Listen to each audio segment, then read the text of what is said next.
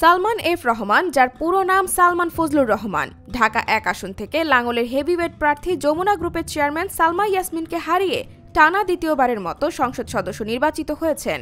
তিনি গত মেয়াদে প্রধানমন্ত্রী শেখ হাসিনার বেসরকারি শিল্প ও বিনিয়োগ উপদেষ্টা হিসেবে গুরুত্বপূর্ণ দায়িত্ব পালন করেন। সালমান এফ রহমান একজন শিল্পপতি।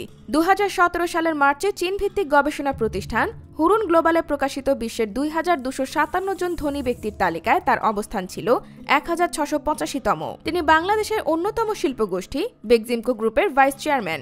অতীতে তিনি অ্যাটকো এফবিসিসিআই সহ বাংলাদেশের বেশ কয়েকটি বাণিজ্য সংস্থার সভাপতি হিসেবে দায়িত্ব পালন করেছেন। এমনকি দেশের শীর্ষস্থানীয় স্পোর্টিং ক্লাব আবাহনী লিমিটেডের চেয়ারম্যান হিসেবেও তিনি দায়িত্ব পালন করেছেন। সালমান এফ রহমান ঢাকার নটরডাম কলেজ থেকে উচ্চ মাধ্যমিক পরীক্ষায় উত্তীর্ণ হয়ে উনিশশো আটষট্টি সালে ঢাকা বিশ্ববিদ্যালয়ের ফিজিক্স ডিপার্টমেন্টে ভর্তি হন।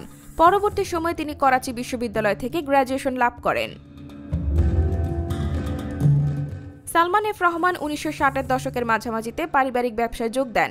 পরবর্তীতে উনিশশো বাহাত্তর সালে তিনি ও তার বড় ভাই সোহেল ফাসিউর রহমান মিলে Bangladesh export import company limited বা বেগজিমকো নামে একটি কোম্পানি প্রতিষ্ঠা করেন। সেই সময় ইউরোপের বাজারে সামুদ্রিক খাবার ও হাড় চূর্ণ রপ্তানি শুরু করেন। এসব পণ্য রপ্তানির বিনিময়ে তারা ইউরোপ থেকে মানসম্পন্ন ঔষধ আমদানি করতেন।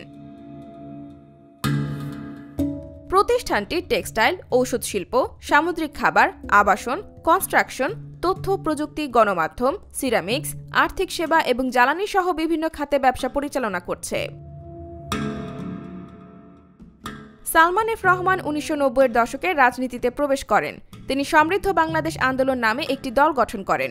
উনিশশো ছিয়ানব্বই সালে এই দলের হয়ে জাতীয় সংসদ নির্বাচনে অংশ নিয়ে জামানত হারান। পরবর্তীতে বাংলাদেশ আওয়ামী লীগে যোগদান করেন। দু হাজার এক সালের নির্বাচনে তিনি ঢাকা এক আসন থেকে আওয়ামী লীগের মনোনয়নে জাতীয় সংসদ নির্বাচন করে তৎকালীন বিএনপির প্রার্থী নাজমুল হুদার কাছে পরাজিত হন। তবে দু হাজার নয় সালে আওয়ামী লীগ সরকার গঠন করলে তখন থেকে তিনি বাংলাদেশের প্রধানমন্ত্রী শেখ হাসিনার বেসরকারি খাত উন্নয়ন বিষয়ক উপদেষ্টা হিসেবে দায়িত্ব পালন শুরু করেন। IBTV USA New York.